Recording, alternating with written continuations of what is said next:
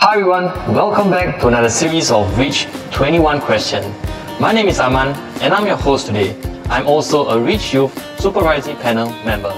In today's series, we have a very special person, Mr. Tan Kiat How, who's the Reach Chairman as well. Let's all welcome Mr. Tan Kiat How. Hi Aman. Hello. Hi, good to see you. Good to see you too. So what do you have today? Today, we have the Latte Art Challenge, Mm. just specially for you. Oh really? Okay, I love drinking coffee. I've not made latte art before, but I'm up to a challenge. Let's go for Let's it then. try it, yeah. Come, let's go.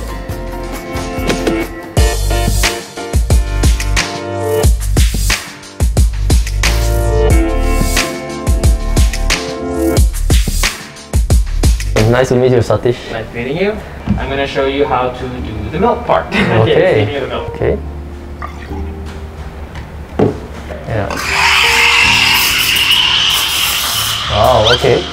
And once you start feeling it a bit hot,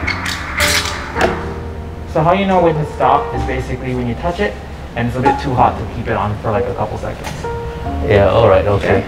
Okay, and then you start pouring like this. So just gonna see from the bottom, and you can do circles. And then when you reach about three quarters, what you see is then that you can start doing your latte art from here. So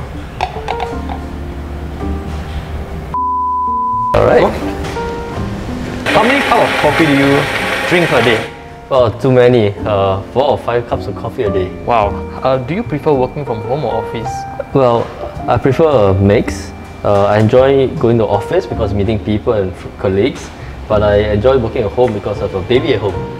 So Oh, I can wow. pop by, pop out and say hello to Isaac, you know, uh, and, and just see him just uh, between meetings. That's really awesome. Do you prefer bubble tea or ice cream? Ice cream. I love ice cream. I love all the flavors with nuts. Pistachio, almond, and uh, you know, cookies and cream. I love those those, and of course durian. Pancakes or waffle? Which one is your Waffles, go-to? waffles with ice cream. Wow, that's right. There's a saying that if you take over 20 seconds, you can get, you can't sleep the night. Uh, I, I, I think I'm used to it. I drink so much coffee. It's almost as if I'm immune to the caffeine. Chai peng or chicken rice? Well, I, I, I, I love chai peng. what is your favorite cartoon? Actually, I, I, I, I love watching anime, uh, surprisingly. wow. Yeah, so I like to love the Japanese ones, you know. And when I grew up, it was like Gundam, uh, Naruto, and now it's uh, I love the one on Netflix, uh, Demon Slayer. Anime person, What is your ideal type of holiday? nature. You became a politician just when you became a father as Hmm, well, hmm. and it is really, really challenging. How do you personally manage it? I think it's tough in terms of finding the right balance so that you have time for family. Um, but I make sure there's protected time. Now, what is one thing that you have um, learned from your son? So I, one thing I learned from him is just be cheerful. And when you wake up every day, uh, regardless of uh, the circumstances you're in, if you wake up with a smile, I think the whole day turns more it's beautiful. I can't agree more. What's your biggest uh, role model or inspiration? I would say, in, in a way, uh, my wife. Uh, I, I think she's an amazing person. You know, regardless of the pressure, regardless of the uh, stress in life, right? Able to do it with a smile. I think that's fantastic, amazing. A lot to learn from her. What, what is um, a pivotal moment, you know, on your leadership journey during your younger phase? Well, I don't think there is one point on where you pivot, you know, and then this uh, uh, revelation or something that's really changed your views in life. I think it's a, uh, for me, it's uh, always it's always a, uh, cumulative uh, learnings, cumulative experiences that I have, and for me, it's that those experiences that shape uh, who I am, how I view the world, and what I want to achieve in life. What are like some qualities you would say is important as a leader? I think to lead, uh, to be part of a team and uh, leading a team, I think first and foremost you must care for people. Let's sit down for a coffee session. and talk okay, more. sure. So come on, get a chance to try our coffee that we made. Finally, Yeah. what do you anchor on when making you know tough decisions in life? I, uh, it all boils down to the values. Uh, what values that you hold dear, uh, what values that you think is uh, important for us to live uh, life that's meaningful, that's purposeful, that uh, does good for society, and that's really boils down to values. What's your favorite um, memory or moment in Parliament? I I don't think, I don't know whether it's a favorite moment, but it was certainly memorable uh, when I first did my first speech in Parliament. How would you um, sum up Reach 2021's uh, outcome so far? Well, it's been a busy year for Reach, uh, and I think it's a particularly a challenging year for Singapore and Singaporeans uh, amidst the COVID-19 pandemic. And I think Reach team worked very, very hard uh, to reach out, Yeah. engage, and hear from different segments in Singapore. Uh, what was your most memorable moment so far, engagement-wise? Well, I think uh, very difficult for me to choose one. Uh, every moment is so memorable. Right. Uh, from having uh, uh, chit chat sessions with uh, youths uh, from uh, rental housing, right? We booked a ca- cafe. Uh, we had a small cozy session when that was when SMM were allowed, allowed for some of these gatherings. Reach is a government propaganda mouthpiece. Um, this statement was actually made out, and is it true? And how can you know we help to change some youth perspective of Reach? Well, I think we, it's, it's very odd for a propaganda unit, if we are really a propaganda unit, to go out and always ask you what you think and what you feel. And we never tell you what we think, what we feel. So I think it's actually the other way around. We are there to hear, to listen, and take your feedback and share it with our colleagues in government. How do you think youth can speak up, you know, on issues that matters to them a lot?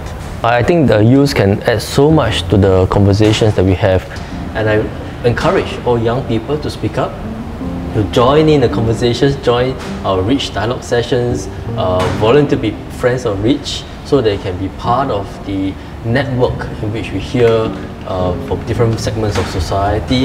They join us in Reach panel. How do you envision the role of youth ambassadors to be like in this um, current phase of the digital but more segregated uh, era? I think it's about adaptability, and I think part of it is that although interactions, face-to-face intera- interactions are minimized, are lesser, but doesn't mean that we have to compromise on the quality of our engagements. How can we encourage youths um, who are generally more apathic uh, to share their views on national views? I think you, Reach gives them a platform. We engaged in some of these dialogues uh, together with the young people and so together with other segments of the community. So to young people, I would say don't feel shy, step forward, be part of this conversation. How would you say, you know, um, are your your views on fake news, and how would you say um, we could curb, um, challenge, you know, overcome them? I think before we forward, I think we think twice. Be sure, does it really add to the conversation? Does it add to clarity? Does it allow somebody else to make a better decision? What is your take on businesses, you know, or sectors, you know, that might go um, less relevant in the post-COVID world? I mean, pre-COVID, COVID, post-COVID, I think these are just different uh, markers that we have. But I think the main point is really about um, we have to accept the world is not static. I think there's no one model that works all the time. So things that work today may not work tomorrow. So it means that we have to work hard to continue to innovate, to stay relevant, to always upskilling ourselves, learn new skills. And this is a continual process of re renewing ourselves, renewing our economy, and regenerating our economic opportunities for ourselves. Now I've done asking you uh, all the questions I have. Let's finish this and let's. Hmm. Um, Very good coffee, very good session. yep, indeed, I actually like the latte. Before we wrap things up, do you have anything else to say? So thank you for having this session and I really enjoyed the coffee and the latte art. Uh, not so successful but it was great fun doing it and really enjoyed the session with you. Um, I think to all our friends out there, uh, we'd like to hear from you. Please join us in your conversations, reach out to us. We want to work together with you, journey together with you, and importantly, co-build Singapore with you. Let us know how you feel, your sentiments, your views. Let us know. Now today we reached the final episode and this is really sad for me. I think many of you will feel the sadness as well. But don't worry guys, we have our social media platforms below. For, don't forget to follow us, tune in for more future series, something like that, maybe even more interesting. Other than that, Stay safe, stay healthy. Ciao.